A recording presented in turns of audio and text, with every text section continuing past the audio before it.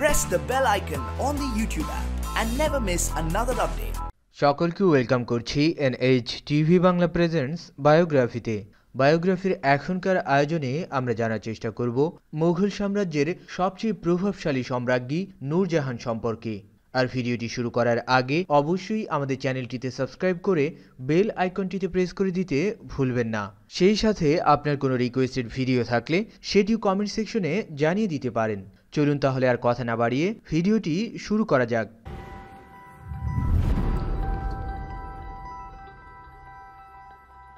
বলা হয়ে থাকে যে মুঘল সাম্রাজ্যের সবচেয়ে প্রভাবশালী রানী হচ্ছে নূরজাহান।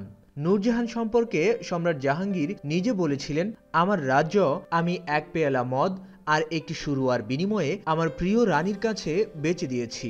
আর সম্রাট জাহাঙ্গীরের এই প্রিয় রানী অন্য কেউ নন, তিনি হচ্ছেন নূরজাহান। নূরজাহান একদিকে যেমন ছিলেন সুন্দরী, ঠিক তেমনই ছিলেন বুদ্ধিমতী। নূরজাহানের রূপ এবং গুণের পাগল ছিলেন সম্রাট জাহাঙ্গীর। আর এ কারণেই তিনি সবসময় নূরজাহানকেই তার অন্যান্য স্ত্রীদের মধ্যে বেশি প্রাধান্য দিতেন।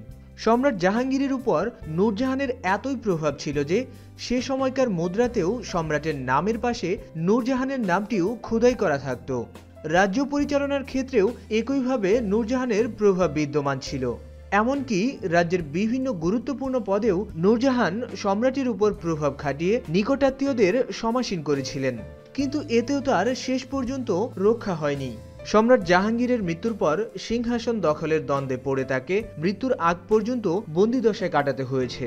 এতক্ষণ যাবৎ আমরা যে প্রভাবশালী সম্রাজ্ঞী নূরজাহানের কথা বলছি, তার আসল নাম কিন্তু নূরজাহান নয়, বরং এটি তার উপাধি ছিল, আর যেটি দিয়েছিলেন সম্রাট জাহাঙ্গীর। তার আসল নাম হচ্ছে মেহেরুন নিসা এবং তিনি জন্মগ্রহণ করেছিলেন পনেরোশো সাতাত্তর সালের একত্রিশে মে। তার বাবা ছিলেন ইরানি বংশোদ্ভূত গিয়াস বেগ এবং মা হচ্ছেন আসমল বেগম। মূলত ভাগ্য বদলের আশায় তার বাবা মা হিন্দুস্তানে এসেছিলেন ইরানের তেহরান থেকে এবং পথিমধ্যে নূরজাহানের জন্ম হয়েছিল। সে সময়ে তার বাবা মায়ের আর্থিক অবস্থা এতটাই খারাপ ছিল যে তারা সিদ্ধান্ত নিয়েছিলেন তাদের কন্যা সন্তানটিকে রাস্তার মাঝেই রেখে যাবেন। যাতে করে কোনো ধনী ব্যক্তি যদি তাকে কুড়িয়ে পায়, তাহলে সে নিয়ে যেতে পারে। কিন্তু সদ্যজাত সন্তানের প্রতি ভালোবাসার কারণেই সে কাজটি তারা করতে ব্যর্থ হয়েছিল এবং এই কন্যা সন্তান তথা নূরজাহানকে সাথে নিয়েই তারা হিন্দুস্তানে পৌঁছান। সৌভাগ্যক্রমে তার বাবা সম্রাট আকবরের অধীনে একটি চাকুরি গ্রহণ করেন আর এর মাধ্যমেই তাদের ভাগ্যবদল শুরু হয়ে যায়। নূরজাহানের পিতা গিয়াস বেগ নিজস্ব গুণের বদলে অল্প কিছুদিনের মধ্যেই মোঘল সম্রাটের রাজদরবারে গুরুত্বপূর্ণ পদ অলঙ্কৃত করেন এবং নূরজাহান ও তার পরিবার হেরেমের মধ্যেই বসবাস করার সুযোগ লাভ করে। আর এভাবেই নূরজাহানের শৈশব ও কৈশোর কাটে হেরেমের পরিবেশে এবং সেখান থেকেই তিনি বিভিন্ন ধরনের শিক্ষা দীক্ষা ও জ্ঞান গরিমায় মহামান্বিত হয়ে ওঠেন। ধারণা করা হয় কোনো এক মেলাতে সম্রাট জাহাঙ্গীর তথা শাহজাদা সেলিমের সাথে নূরজাহানের প্রথম সাক্ষাৎ হয়েছিল। আর প্রথম দর্শনেই নূরজাহানের প্রেমে পড়ে যান শাহজাদা সেলিম তথা সম্রাট জাহাঙ্গীর। এর কিছুদিনের মধ্যেই জাহাঙ্গীর তার পিতার কাছে নূরজাহানকে বিয়ে করার ইচ্ছা পোষণ করেন। কিন্তু সম্রাট আকবর এ বিয়ের প্রস্তাব মেনে নেননি। বরং তিনি অতি দ্রুত মেহরুন নিসাকে ইরানি সমন্বয়ক শের আফগান আলী কুলি খানের সাথে বিবাহের ব্যবস্থা করেন। এবং তাদের বিয়ে সম্পন্ন করে বর্ধমানে পাঠিয়ে দেন। সে সময় মেহরুন নিসার বয়স ছিল সতেরো বছর।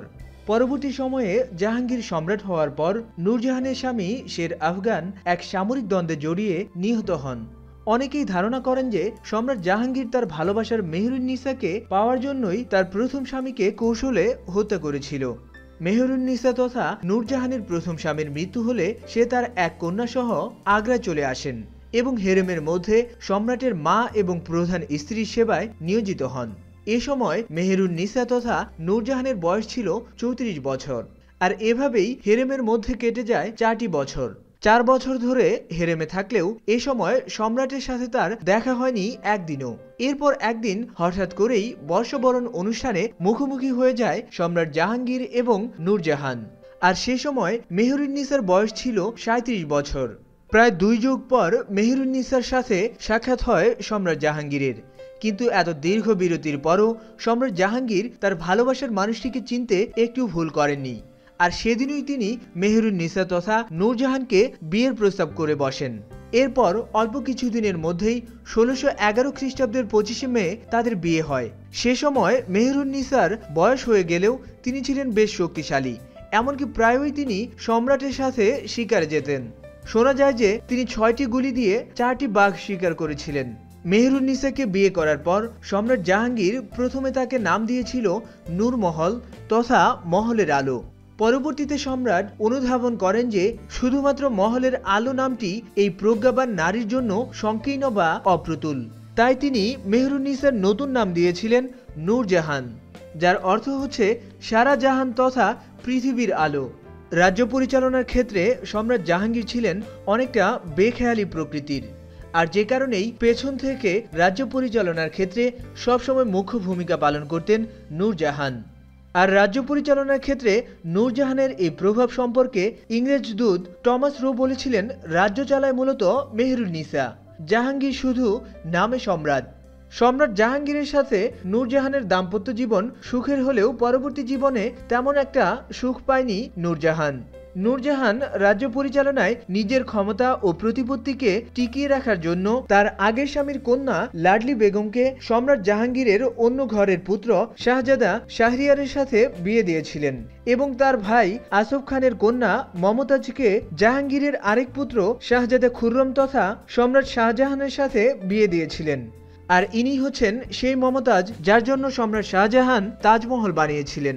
সম্রাট জাহাঙ্গীরের মৃত্যুর পর নূরজাহান চেয়েছিল নিজ জামাতা শাহরিয়ারকে ক্ষমতায় বসাতে। কিন্তু তার আপন ভাই আসফ খান তার জামাতা শাহজাহানকে ক্ষমতায় বসাতে নূরজাহানকে কৌশলে কারাবন্দী করে ফেলে এবং সম্রাট শাহজাহান তার ভাই শাহরিয়ারকে হত্যা করে ক্ষমতা দখল করে। এরপর থেকে নূরজাহানের জীবনের বাকি আঠারোটি বছর অনেকটা বন্দী অবস্থায় কেটে যায়। ষোলোশো সালে তিনি সব ধরনের সক্রিয় রাজনীতি থেকে অবসর গ্রহণ করেন এবং সম্রাট শাহজাহান তাকে বাৎসরিক দু লক্ষ টাকা পেনশন দিতেন। সে সময়ে তিনি লাহোরে বসবাস করতেন এবং সেখানে তিনি তার পিতার দরগাহের তদারকি এবং কবিতা লিখে সময় কাটাতেন। অবশেষে তিনি ষোলোশো সালের সতেরোই ডিসেম্বর আটষট্টি বছর বয়সে মৃত্যুবরণ করেন। এই ছিল এখনকার মতো, আবার আপনাদের সাথে কথা হবে নতুন কোনো ভিডিওতে নতুন কোনো বিষয় নিয়ে। That's it all about our stories video thank you very much for being with us and see you later in next videos